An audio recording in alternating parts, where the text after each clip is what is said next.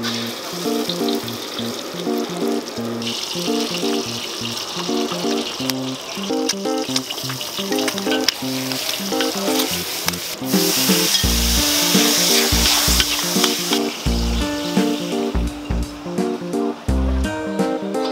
mesennya setengah mateng, kita belah. Oh my god.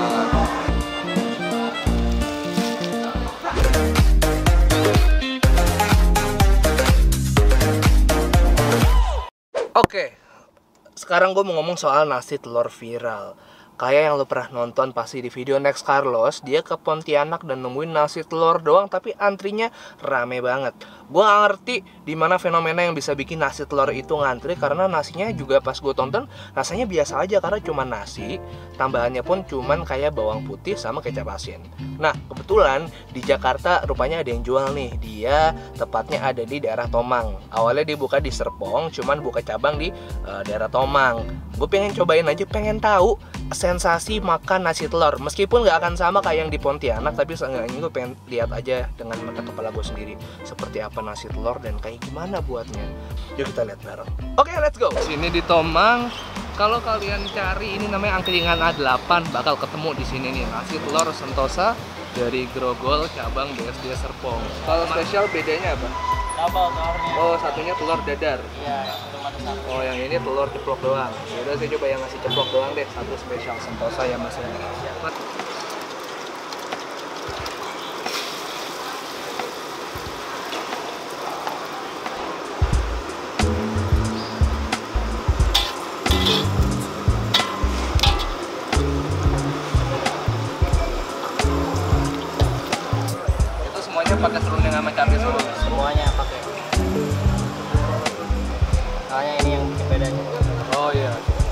Karakternya ceplok.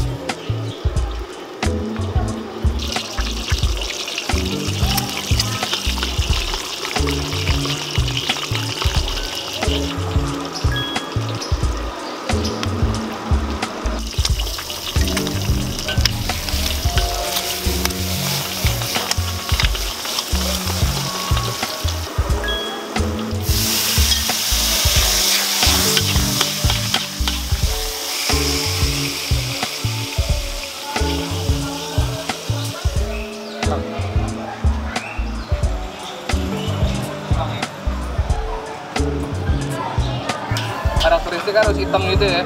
Ya, bawangnya Oh, bawangnya. sesuai gambar.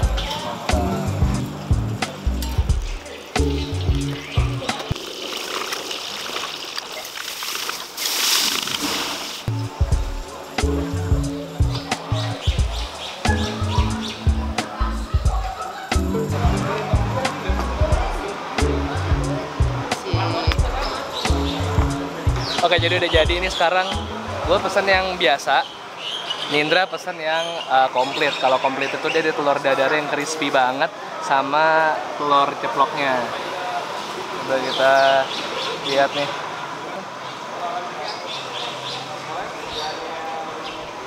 Enak. Oke, gue jadi pengen nyoba nggak sabar. Kita cobain.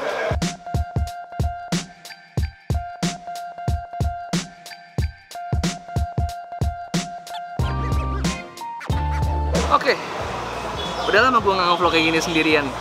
Dan udah dateng nasi telur gue lo lihat tampilannya gimana ada telurnya terus dia bedanya di sini pakai serundeng sama sambel. Beda sama yang gue lihat pas gue eh, nonton videonya Next Carlos sebenarnya nasi telur yang ada di Pontianak kenapa rame banget karena waktu itu gue lihat dia emang jualan kayak makanan-makanan Chinese food kayak in, mie goreng, nasi goreng, kue tiaw dan capcay segala macam. Cuman salah satu menunya emang ada nasi telurnya.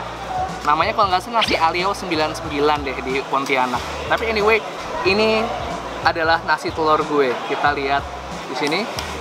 Gue mesennya setengah mateng, kita belah. Oh my god. Di dripping dripping gitu cuy. Gue pakai telurnya. Telurnya ini beda karena dia pakai bawang putih sama kecap asin kayaknya. Yuk. Siap cuy. Bismillah. Ready. Let's go.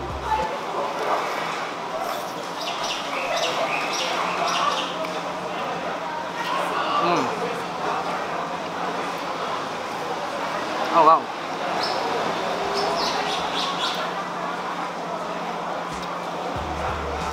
Karena dia pakai bawang putih sama si kecap asin, jadi yang pertama kali gue sadar yang paling ketara banget rasanya adalah asinnya. Dan karena gue pesen setengah matang, jadi tambah tekstur creamy di nasi. Hmm. Ini seporsinya harganya 10.000 ribu eh sorry 12.000 ribu mungkin karena biaya sewa juga kali ya sebenarnya kalau mau bikin sendiri modalnya murah banget harusnya. Karena cuma telur bawang putih sama mungkin kecap asin. Mungkin kecap asinnya lo bisa cari merek-merek yang kecap asin yang bukan di supermarket yang merek kecap asin sendiri kayaknya. Tapi gue nggak tahu sih. Mungkin lo bisa eksperimen berbagai macam kecap asin buat variasi rasa-rasa lainnya lagi. Sambal telur sama nasi ya. Kita coba. Uh let's go hmm ya sambalnya pedes banget. Sambalnya pedes banget.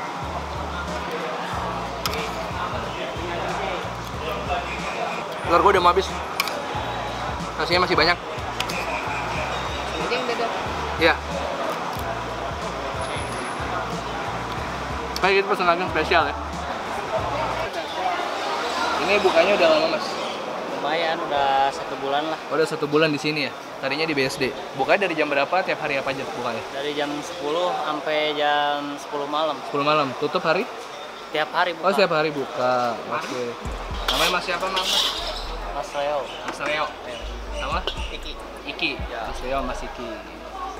Yang punya orang Pontianak atau gimana? Apa? yang punya bosnya orang Pontianak? Ya. BSD. oh BSD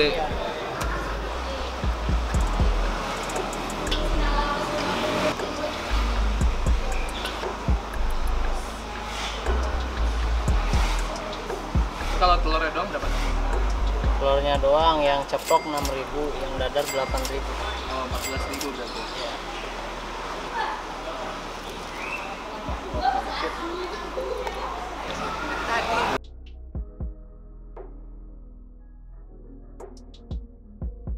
Kamera gue nggak mati-mati sendiri, kenapa dah?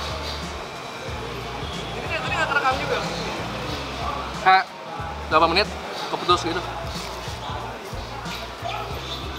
Misalnya, gue ke Pontianak nih, nyobain nasi telur. Gue yakin rasanya nggak begitu jauh dari ini sih.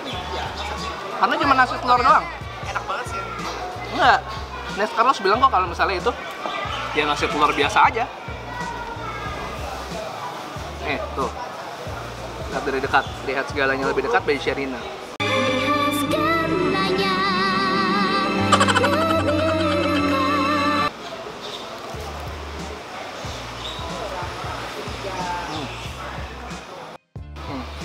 Garing, garing, garing.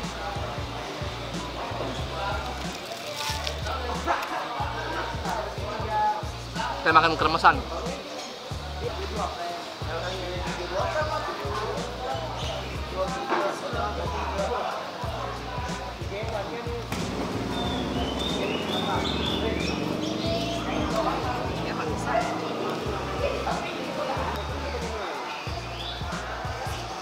Kering banget. Lama-lama seret. Nih pakai sambal sambal bawang.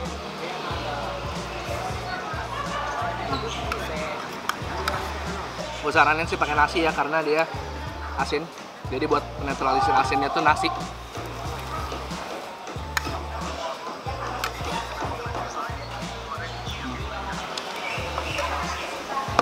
Mantap.